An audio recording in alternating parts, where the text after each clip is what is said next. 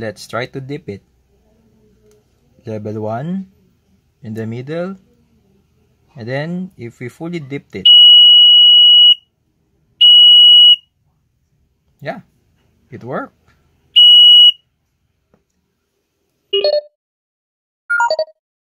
In this video, I'm going to show you how we can use this water level sensor without an Arduino. The first step here is of course we need to have a sample water where we can dip our sensor and check the voltage readings. I have here a probe with 5 volts output so I will now put the supply so that we can start checking. And I also have here a multimeter so we can check the voltage output of our sensor. Now it's on. So the negative of the probe is connected on the negative. Then the positive is here. I will just put the another another probe here on the sensor output. This is an analog output, so the voltage will be on a certain range. Let's turn on our meter. So now it's in DC.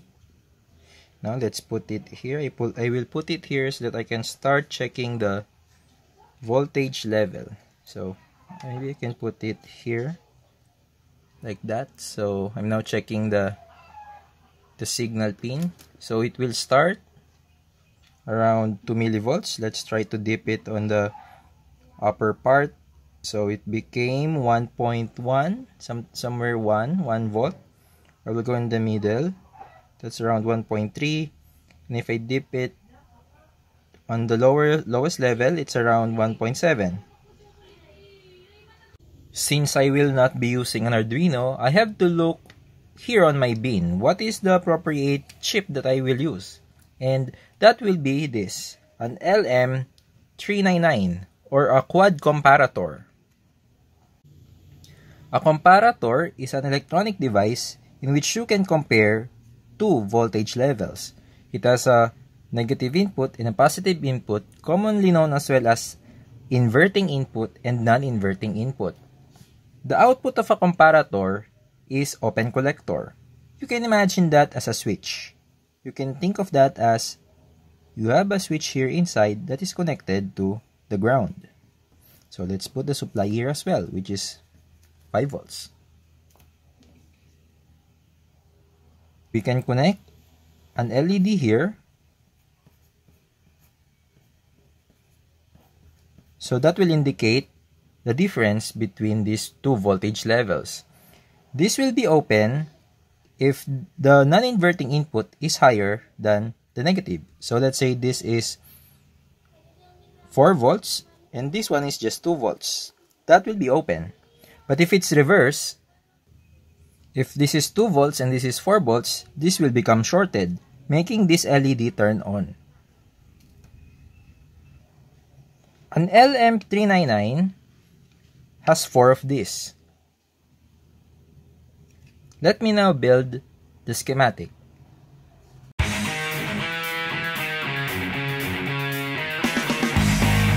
Here is now our schematic.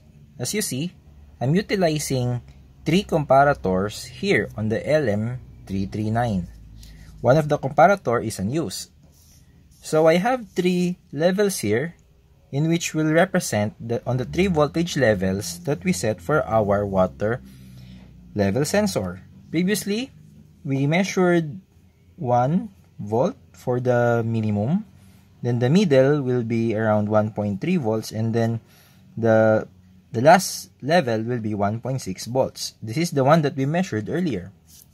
And then this these resistors, I still have to calculate it and tweak during the process when I start to work on the when I solder later the resistors. And this will be our indicator. There will be three LEDs that is corresponding on the outputs. Like this output will be in corresponding with this input and then this output will be here. They are actually in pair. By the way, before I forgot, these are the combinations of the voltage divider that I use to achieve these different voltage levels. These are the thresholds of our comparators. We'll now build the actual circuit of this schematic and let, let's see how it will behave. I will be using this prototype board as well as my surface mount resistors for our circuit. This is a bit big so I have to cut it because you, only, you will only utilize one line for the comparator IC. Or I may, I may will cut it in this area until this area. That should be enough for our application.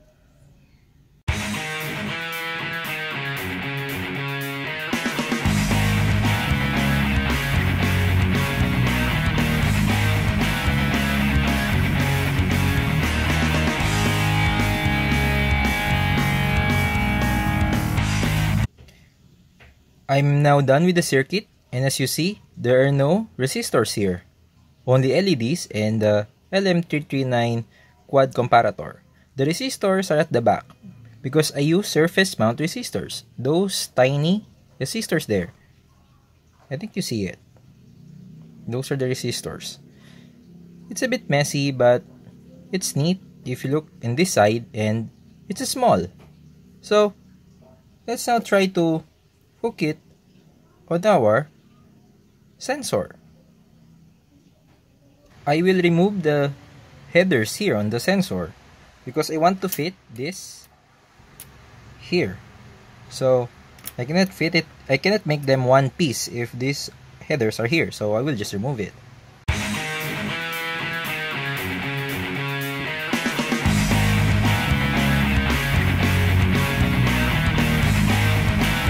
Now that I removed the headers, I can now fit this together to become one piece. So luckily, the holes are kinda same size, so I can match them together. Like that. So I have a screw here and a nut, and I will fix that. The screw is a little bit big, but it does the job. So now it's time to put the wires on these three connectors here, on the, these three the supply, the positive, negative, and then the signal. So we can now test the circuit if it will work. Now I'm done, I'm done making them once. So yeah, you see the wiring here, still messy. And I just added a buzzer and then I, the power is coming from a USB cable. So let's try to dip it. Level 1 in the middle. And then if we fully dipped it, yeah, it worked.